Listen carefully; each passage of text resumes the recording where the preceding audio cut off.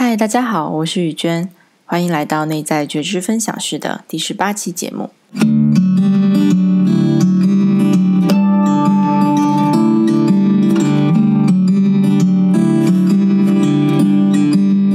那今天呢，我想跟你聊一聊什么是真正的活在当下，也就是正念与冥想这个主题。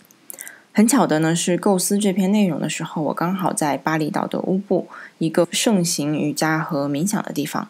那这其实也是我第二次来乌布了，这次就是特地带我妈妈来住在一个瑜伽馆里面，每天出了房门就可以去上各种各样的瑜伽课和冥想课，周围也一直充满着让人身心平静的一些音乐，还有大自然的声音，是个非常棒的地方。那正念与冥想这个主题呢，我之前也做过工作坊，是因为我自己非常感兴趣，也认为其实可以保持正念是一个非常重要的能力，可以帮助我们更好的跟自己的内心建立连接，更清晰的听到我们自己内心的声音。然后呢，在这个过程中，我也发现，的确有越来越多的人开始对这个主题、对正念、对冥想开始感兴趣。那当时做了这场工作坊之后，也很快就追加了一场。我自己对冥想的兴趣其实也是很多年就开始了，很多年前，因为在书里有读到过，然后视频里也看到过，听到很多人都在讲说冥想的好处、正念的好处，于是就自己也去尝试逼自己每天静坐半小时，结果发现半小时太久了，然后又逼自己说那就每天五分钟，结果还是很难坚持下来。我相信可能很多尝试过冥想的人都有类似的体验。是因为正念这个概念其实说起来非常的简单，它不需要我们去学习一种新的技能，但同时它其实又非常的难做到，因为它需要我们重新培养一个完全不同的习惯。那说了这么多，可能还有朋友对正念和冥想这个概念没有听过或者不太熟悉，所以正念到底是什么呢？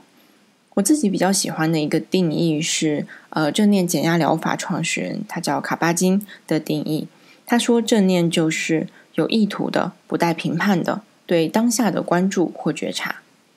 那虽然这个字数很少，但这个里面其实包含了好几个很重要的部分。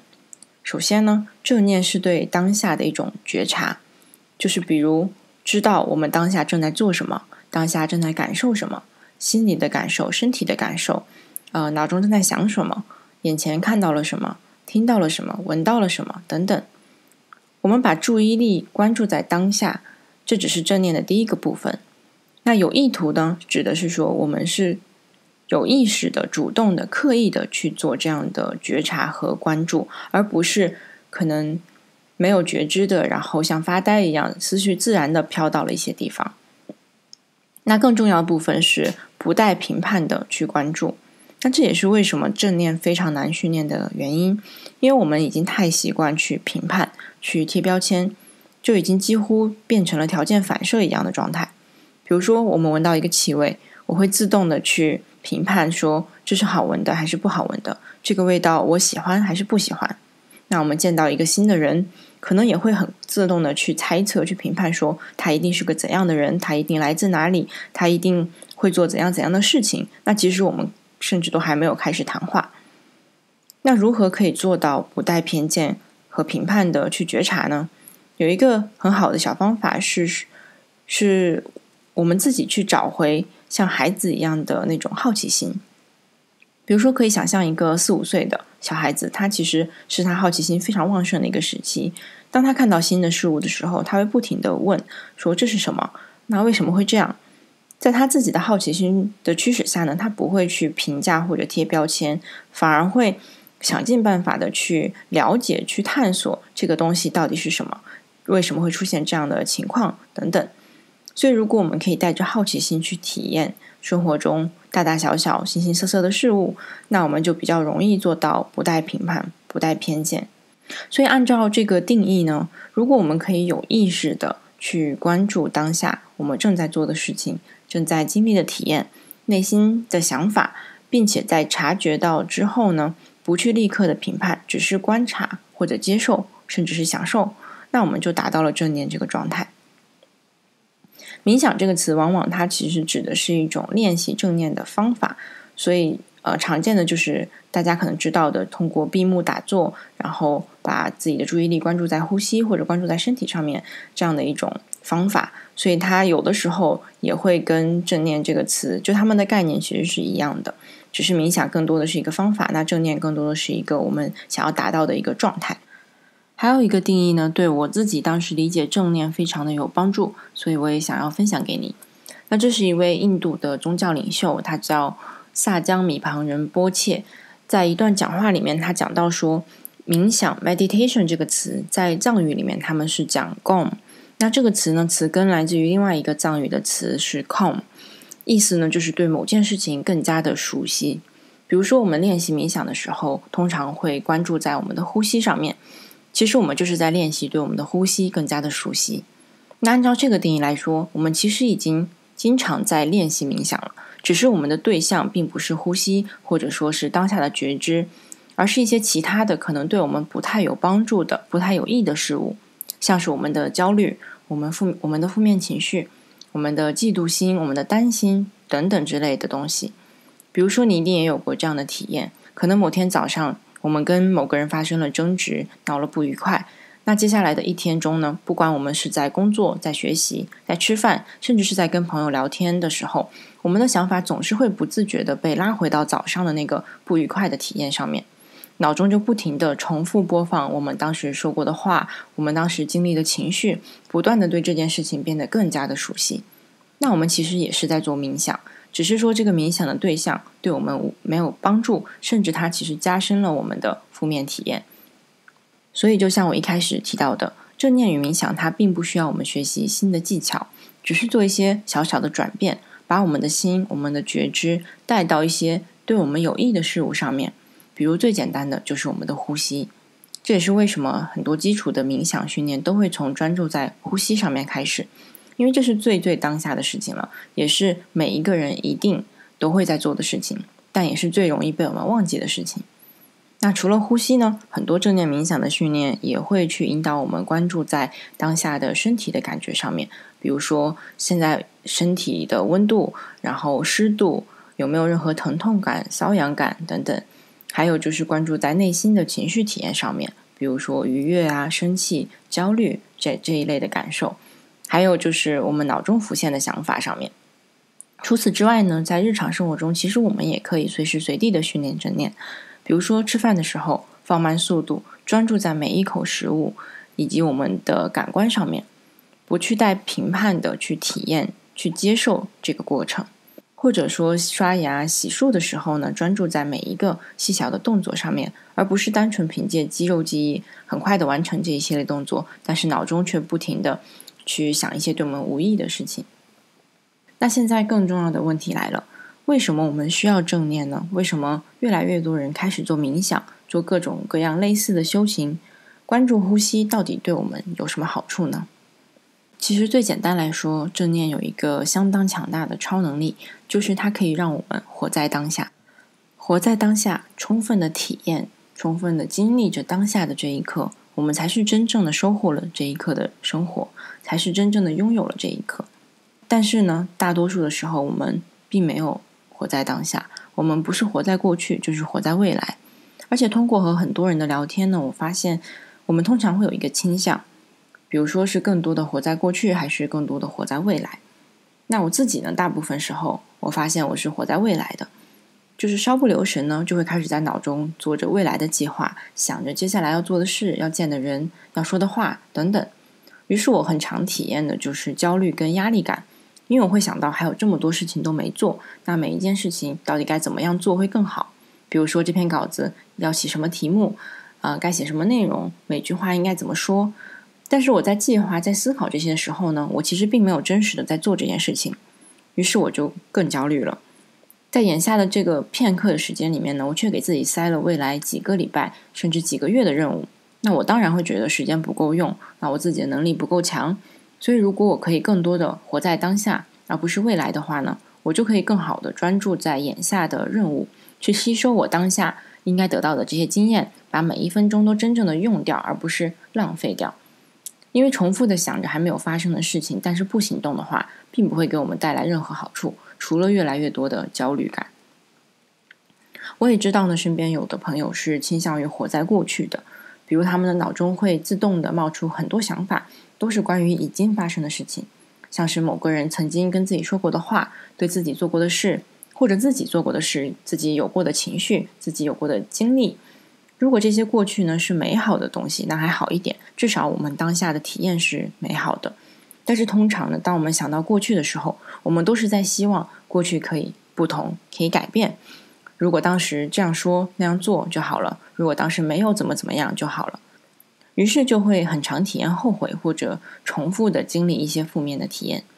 所以，如果这些朋友他们可以更好的活在当下的话，而不是过去，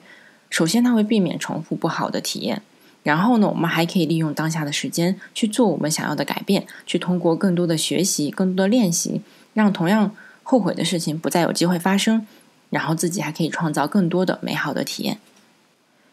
所以，如果我们可以保持正念，我们就是把握住了当下，真真切切的做到了活在当下。那练习正念呢，除了可以帮助我们更经常的活在当下，享受眼下的人生之外呢，近几十年也被科学证实了很多其他的好处。比如说，长期练习冥想、修行正念的人，会有更好的专注力、更强的记忆力。他们会有比较低的焦虑和抑郁症状，比较少的压力感，甚至呢，正念可以减轻疼痛，给我们带来更好的睡眠质量、更强的同情心，更容易体验积极情绪，也更会管理消极情绪，因此呢，就会体验到更强的幸福感。那如果你对这些好处感兴趣的话呢，可以去搜一下相关的研究，我在这里就不做更深入的讨论了。那现在，如果你和我一样认为，正念是一个非常棒的状态，希望自己可以更多的体验正念，更好的我在当下的话呢，我也想要分享一些我自己练习冥想的亲身体验，说不定会对你有一点帮助。那像我一开始提到的，对于坚持每天哪怕是五分钟的冥想练习，我也是觉得非常难做到的。最长的一次记录大概只有八九天，然后我当时慢慢的有把冥想这个练习延长到二十多分钟。但是那断掉之后呢，就再也没有拾起来了。所以我完全理解，想要养成一个每天冥想的这个习惯呢，是非常难的。所以我也想先跟你说，即使我们现在做不到，也别怪自己没毅力，更不要马上的放弃。因为首先呢，正念并不是只有通过冥想练习才能达到。如果我们充分的了解了正念这个概念，你就会知道，即使是在日常生活中，每时每刻我们都可以训练自己的正念。我们做冥想练习的目的呢，是为了可以在日常生活中更经常的体验正念的状态，从而可以把握当下，提高自己的觉知，给自己更多主动选择的机会。所以，如果一天中我们可以有几个瞬间提醒自己，有意识的、不带偏见的去关注一下当下的体验，那我们已经是在练习正念了。当然呢，冥想会是个更好的方式，因为这个是刻意的练习。我们每天花几分钟去刻意的练习。当我们思绪跑乱跑的时候呢，去不带评判的把它带回到当下。那我曾经其实看到过一个冥想大师，他说：“如果你没有练习够三百个小时的冥想，那就别去找他问问题。”所以可以看到，说我们需要这么多个小时的刻意练习，才能达到一定的、一定境界的正念。所以如果单靠生活中的小瞬间的话呢，我们可能需要很多很多年才能达到。这就是为什么，如果可以的话呢，我们应该开始尝试专门的一些冥想练习，去积累我们练习正念的这个小时数。那说到积累小时数呢，虽然目前我自己也还没有养成每天冥想的习惯，但是在今年五月的时候。我参加了一个为期十天的内观进修的课程，叫做 Vipassana Meditation。那在这十天中呢，所有人吃住都在一个禅修中心内，我们不能有语言，甚至是眼神、肢体动作的交流。从早到晚都是根据安排好的时间表，每天呢累计有整整十二个小时的静坐冥想。在这个过程中，也会有老师的录音带引导我们去呃如何做内观冥想。大概是前三天我们都会练习关注在呼吸上面，后面六天呢练习关注身体的感觉，最后一天是增强慈悲心的冥想练习。所以在短短十天内呢，我们就积累了一百二十个小时的冥想，可以算是相当密集的训练了。但是在这样密集的一百二十个小时的训练之后，我的确感觉自己的专注力变得更强。当内心或者身体产生感觉的时候呢，我可以做到在条件反射的行为之前多了一点时间去思考，我可以怎样去做选择，我可以怎样去应对，而不是直接交出主动权，任由我的条件反射来做一些行为。比如说，嗯，最简单的例子就是，当我身上可能被蚊子叮了之后，会非常的痒。那在这个修。在这个训练之前呢，我可能就会一痒就去抓，那我越抓它就会越痒，然后我就可能在这个过程中变得很烦躁，然后这个痒的感觉呢也只会变得更加的强烈。但是在后期呢，在经历了几天的训练之后呢，我慢慢的学会说，如果这个地方痒了，那我现在可以选择说，我知道它不会永远都痒，我可以选择让它。慢慢的消去、消下去，然后可能最多十几秒、三十秒的时间，它就真的不会再痒了。那我就可以更，就是在这个过程中更加专注、更加平静的去做我自己的冥想训练，而不是被这样的身体的感觉而去打扰、去影响我自己的训练。在这十天的收获呢，非常的大，所以我就不在这里做更多的分享了。如果你对这样的十天进修感兴趣，或者还有什么问题的话呢，可以直接留言给我。那分享这个经历呢，我只是想要告诉你说，如果有足够的正念冥想的练习，当然包括我们日常生活中的一些正念的瞬间，你一定可以看到正念对你带来的改变，也一定可以更好的活在当下。我希望呢，我们都可以珍惜的、充实的过好我们人生中的每一刻。